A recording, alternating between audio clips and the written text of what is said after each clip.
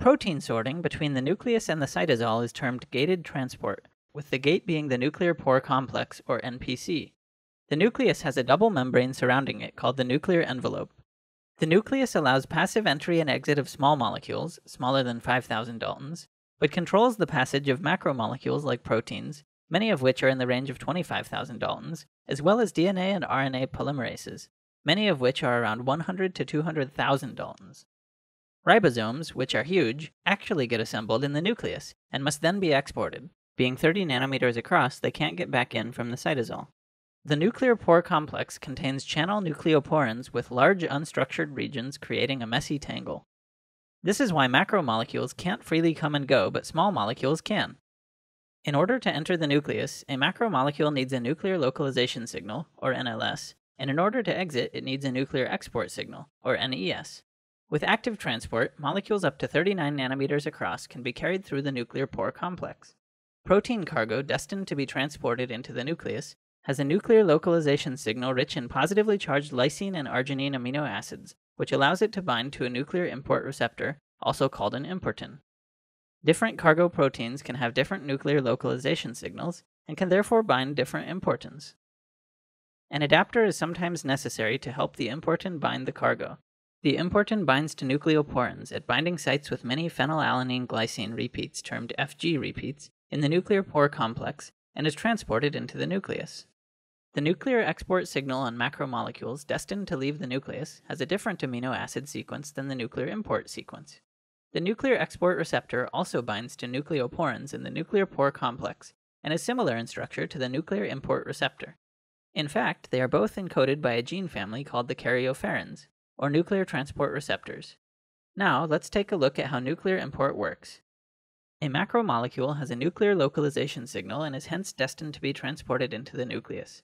It binds to an importin, and the bound importin binds to nucleoporins of the nuclear pore complex. The cargo bearing importin is shuttled across. At the other end of the nuclear pore complex, there is a RAN GTP. RAN GTP binds the importin, which has a sort of stacked alpha helix motif, forming a spring like structure. The spring-like structure has a conformational change and the cargo protein is released into the nuclear lumen, which is its destination. After this exchange, the importin bound to RAN-GTP is transported back into the cytoplasm. RAN-GTP is hydrolyzed to RAN-GDP and inorganic phosphate and dissociates from the importin. The importin can now be reused to transfer the next cargo.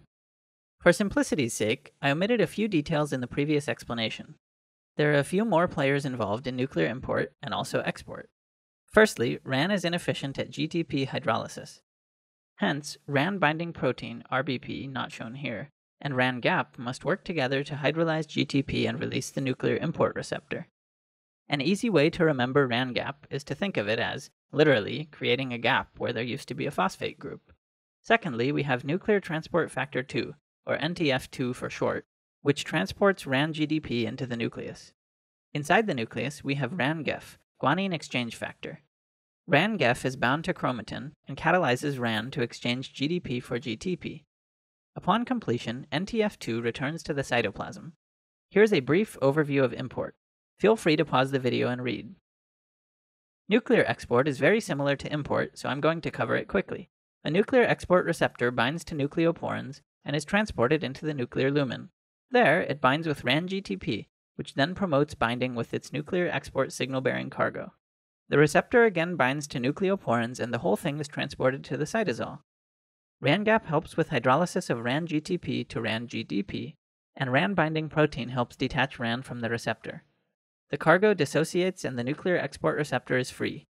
Now the receptor returns to the nucleus without any enzymes helping it.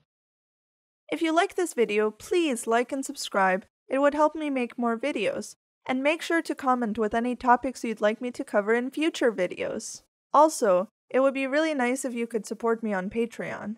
Thank you.